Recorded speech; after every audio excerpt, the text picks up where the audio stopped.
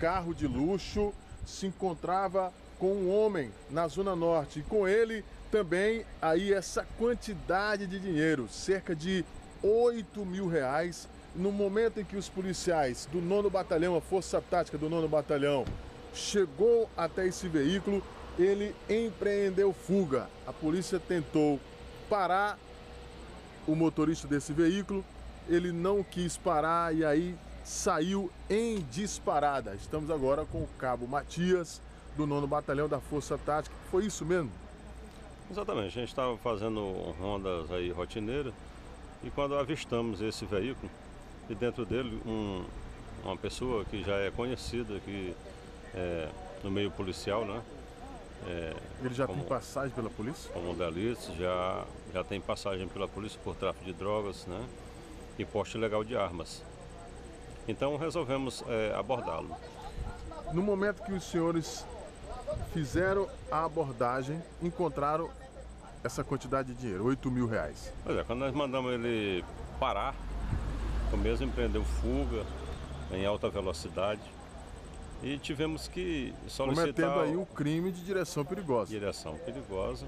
Tivemos que é, pedir apoio de outras viaturas do nono batalhão, é, e assim foi feito um bloqueio ali na Avenida Central, ali do Mocambinho, onde conseguimos é, parar o veículo, né?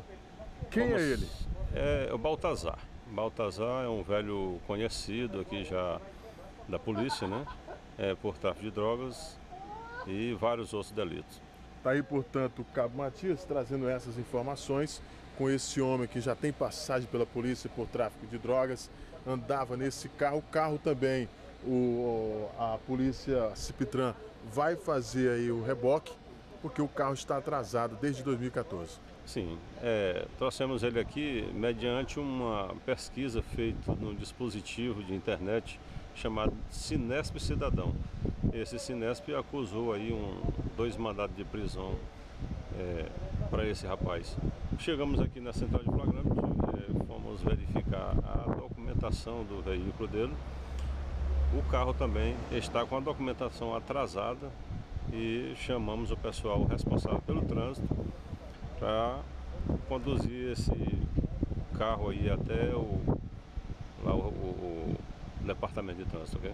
Tá bom, então tá aí o cabo Matias trazendo essas informações. Aí esse carro, um carro novo, um carro novo, um carro de luxo, tá aqui, portanto, estava com esse homem que já tem passagem pela polícia por tráfico de drogas, uma quantia cerca de 8 mil reais que está agora nas mãos do delegado Marcão e agora será feito todo o procedimento na central de flagrantes.